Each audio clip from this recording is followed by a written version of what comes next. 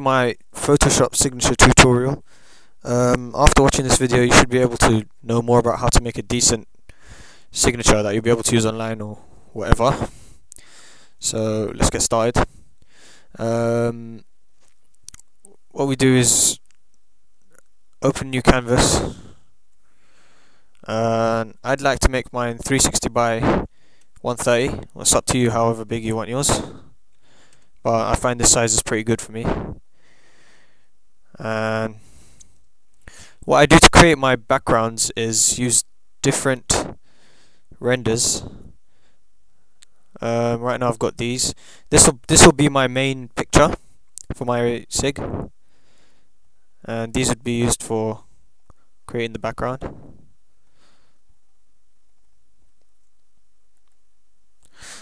Um, uh, to start off my sig what I do is I make a gradient right at the right beginning it's easier to work with. So what you do is pick two colors from any of the renders. I picked my colors from here a red and a blue. So what we do is we get to our canvas and select the gradient tool and choose gradial gradient and just just make a gradient um, let's reverse that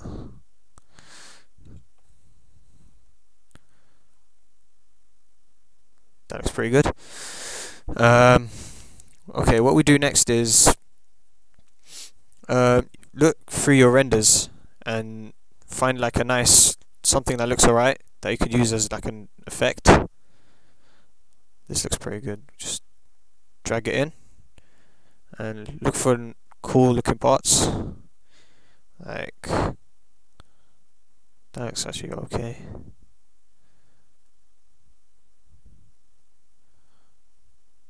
That's not bad. Um, delete the text there uh, what, you, what I do is start smudging so all we do is choose the smudge tool and use whatever brush you like but I like create my own brushes for smudging and this is the one I'll be using now. Uh, just start smudging basically. Well actually it's better to first duplicate your layer because we might be able to use the original one later. So duplicate and smudge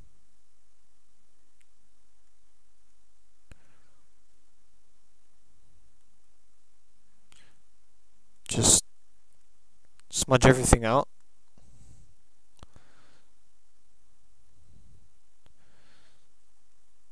like so.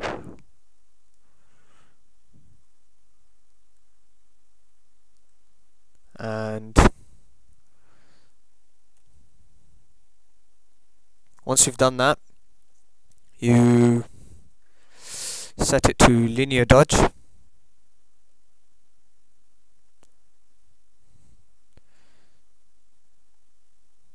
And you duplicate that.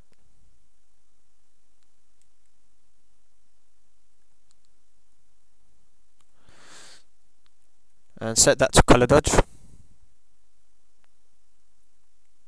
Just gives a nice sort of effect. And then you can use your the main one. Put at the front. And if you set that to color dodge as well get a nice effect sort of thing um, look for your other renders and look for another decent part that you could use. Um, this has an okay part. Same render.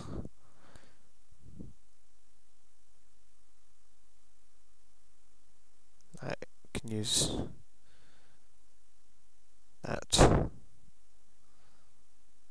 We delete some parts. Delete parts you don't need. Make sure you have a sense of flow while you're doing this like I'm trying to make my whole sig flow this way makes it look better the result will also be better of course what you do is just smudge that as well.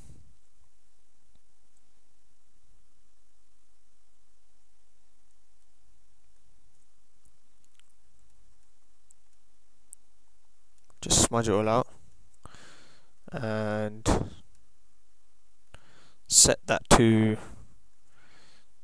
overlay. It'll give it more of like some depth and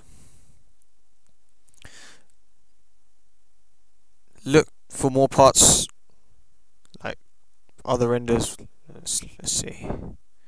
That's our main one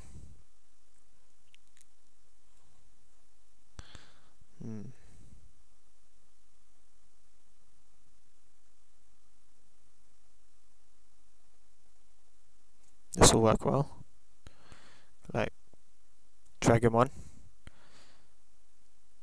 maybe resize hold shift so stays in proportion.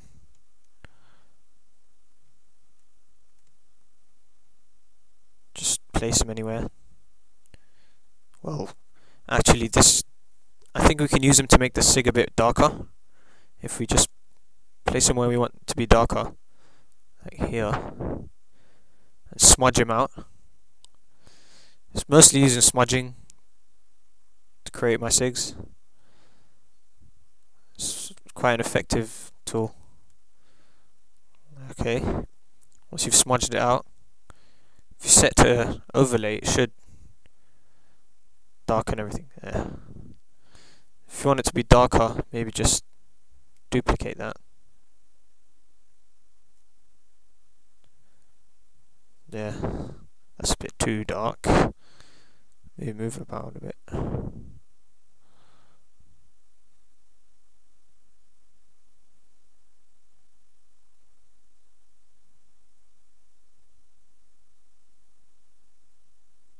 Okay, just smudge out the straight line. Okay, what we want now is to get more cool looking parts that we can, will give the SIG some flow and maybe some depth. Uh, we can use this one. Mm, yeah, that looks, if you just drag that in.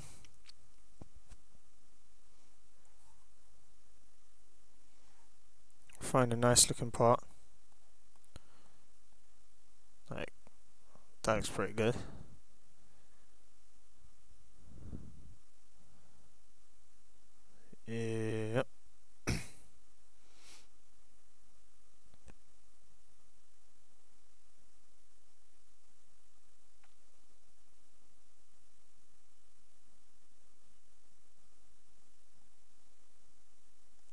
Okay. And maybe we can use something to make it stand out. Hard light looks pretty good.